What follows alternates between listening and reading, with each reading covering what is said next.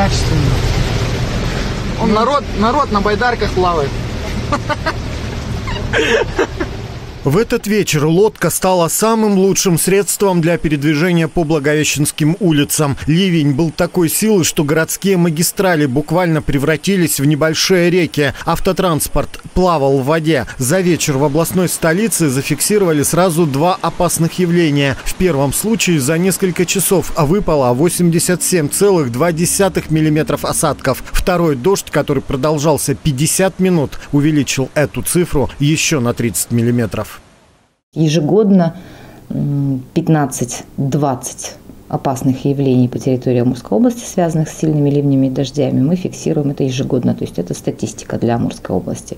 Ну, какие-то чудовищные года, а, типа 13 или 19, их, естественно, фиксируется гораздо больше. В 2013 году их было 72 все коммунальные службы города приступили к ликвидации последствий ЧС немедленно. Фронт работ практически весь Благовещенск. Затопило не только улицы. Вода в нескольких местах размыла дороги, обрушив асфальт. Сейчас на опасных участках выставлено защитное ограждение. Из-за непогоды произошло отключение энергоснабжения на четырех фидерах подстанций. Западная, центральная, силикатная, астрахановская. Свет в домах жителей, подключенных к этим подстанциям, дали только в половине второго ночи. Такие проблемы после сильных дождей в областной столице происходят регулярно. В настоящее время в мэрии прорабатывается вопрос о замене ливневой канализации, которая не справляется с таким количеством воды. Это достаточно долгосрочный проект, э, это финансово емкий проект, это тоже нужно понимать.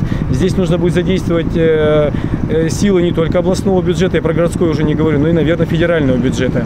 То есть, как только мы получим схему ливневой канализации, мы будем уже понимать масштабе той работы.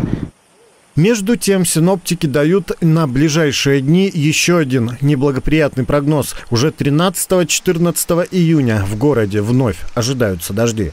Юрий Камышный, Владимир Петренко, Амурское областное телевидение.